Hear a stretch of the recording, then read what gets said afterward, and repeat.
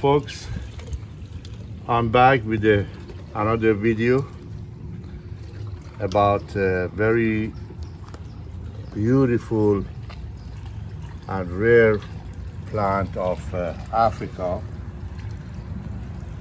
which it does have a very gorgeous tiny red flower during the late spring and summertime. It is known as Upper Colucaria dicarii. Uh, these African plants, they generally do have a very long and complicated name. But this particular one, known as a pachyform or caudiciform. What is pachyform is the shape of the plant. A portion of the root rises out of the soil, which you clean them up and display the plant in a ceramic pot. Is one of the most desirable natural bonsai. So uh, you don't need to work so much to train this plant to make a very valuable and expensive bonsai out of it. Generally, with a simple procedure, you make a very beautiful shape out of it. I'm showing you and displaying so many different variety that you'll be able to see how the structure of the caudex, this area known as a caudex. and this kind of plant, as I have said, known as a caudiciform. So in every plant, they show their body structure differently and they just like they speak to you. They uh, lavishingly show their uh, exotic shape. This plant has certain behavioral that if you keep it in a very tiny pot they stay compact. And if you constantly move it to a bigger pot, you can get a monster out of it, which is very, very gorgeous and very lavishing. See? If you keep it in the sun, the plant will display a very gorgeous reddish glossy purplish leaf. And if you put it in the shade then you see it green. There are two ways of propagation of this plant. After the summer blooming, you will see a lots of little tiny seeds, which they are green, which they are similar to like oval shape. And after about a month or a month and a half, they get a little bit brownish and either they fall down or you pick it up and let it dry for propagation. That is called seed propagation system. Another way of propagation is cutting branches. As you see, this particular one was a cutting. But here I have to explain for you that when you do the cutting, you will not get to this kind of shape in a very soon timing. It takes time. So this is a seedling means it grown from seed. As they are baby, they show the caudex. And underneath of this soil, they are branching out. But when you do the cutting, it will stay the same way as one particular branch in the soil and then it takes a long time but the plant grows very beautifully and it does even bloom and gets very exotic.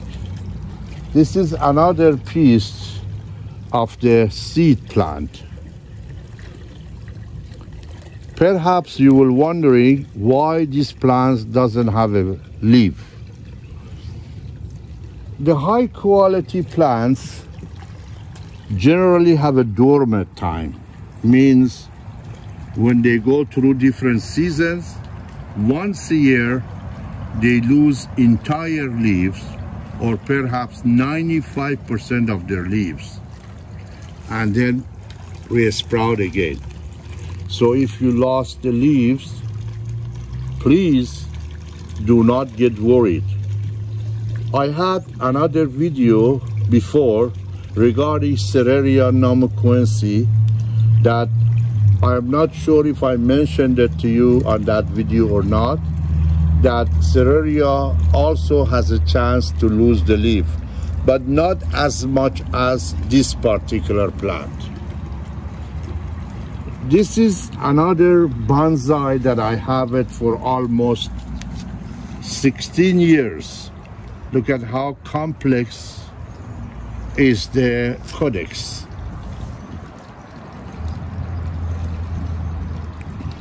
Of course, I did a little bit cutting on the top and sides and made it a little bit more exotic shape. My technique in this particular area of uh, plants is to create a shape out of the plant that is not common, is more exotic. For example, this is another one. I want to walk you through my garden and show you several pieces of this particular plant that you become very familiar. So let's go see. As you see, I do have lots of exotic plants. Here, I have it in this shape. Look at the caudex.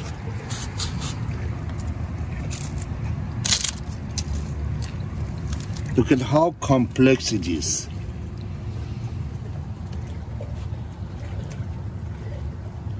This is about 30 years old work.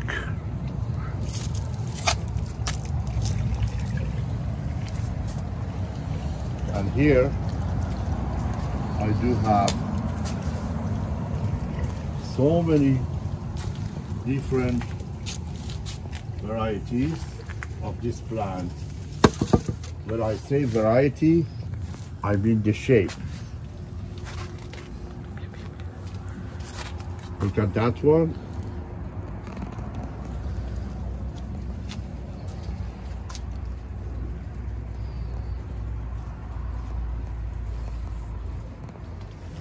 Folks, this is a plant that you do not have any risk factor to work with. It is very strong, very resilient, and very exotic. Look at this one. It hasn't been repotted yet. And I'm gonna take it to the to my work table and show you the bottom of this plant. Let's go back. Okay, this is a plant that I'm going to show you how builds the caudex. So we're going to take it out of the pot and we clean up all around it.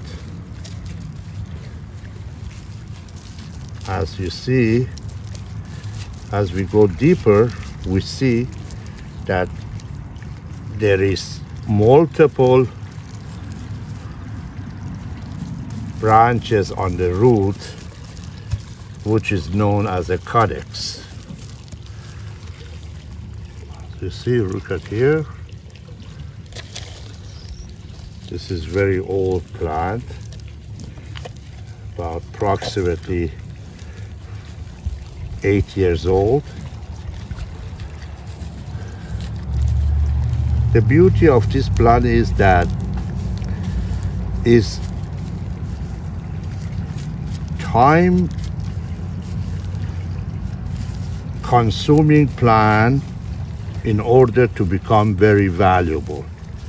But there is no any work for it. There is not much of the maintenance. Technically you can just water it and every once in a while fertilize it and uh, let it grow. But when they grow it worth truly a lot. Now if some of you wants to know the value of these plants you can go on different websites and check the value that is unbelievable. Look at that. Look at how beautiful it is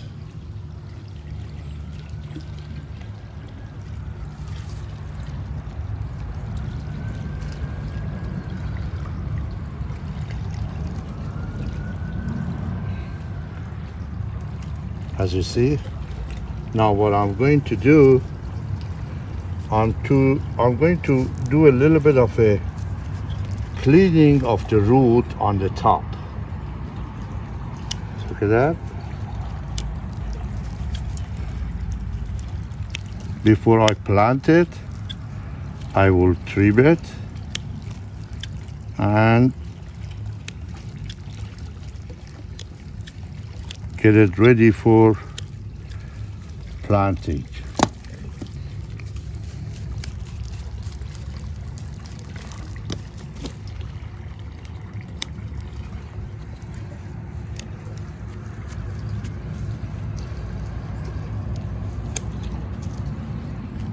The roots are a little bit more stronger than what you think.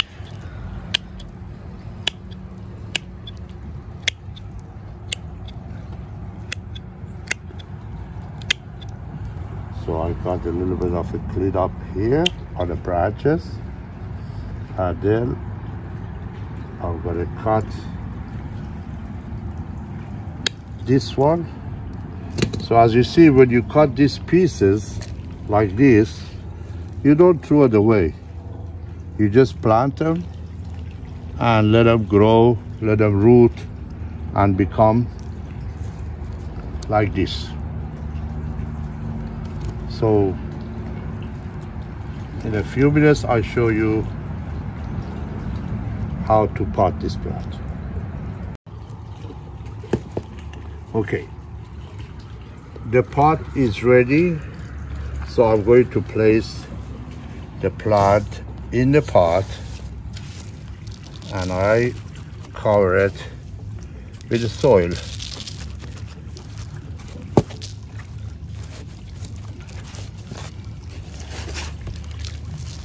as you see two-thirds of the root now is out of the soil.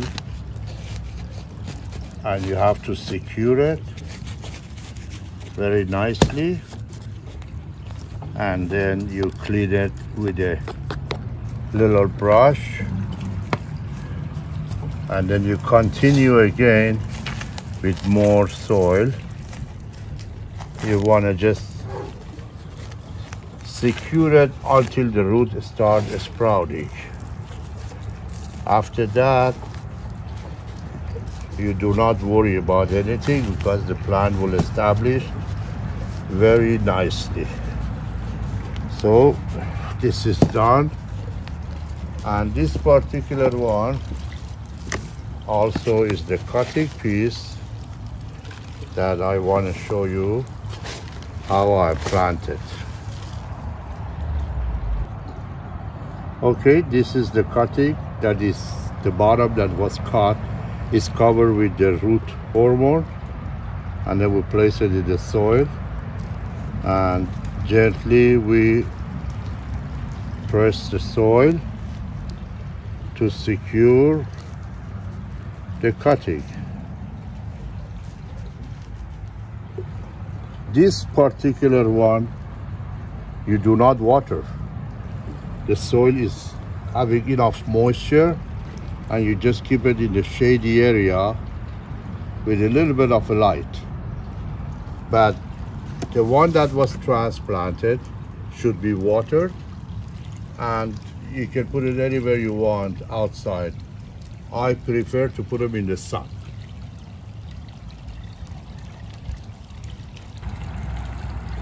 Okay everybody, this is about the end of this video. I hope you enjoyed it.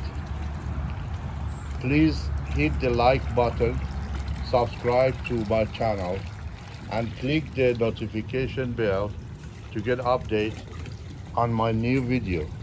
My new video will be about one of the most extreme rare cactus which known as the Manvelia spaghetti crestata which is a purplish color so I hope you follow and learn about this particular one and the method of propagation.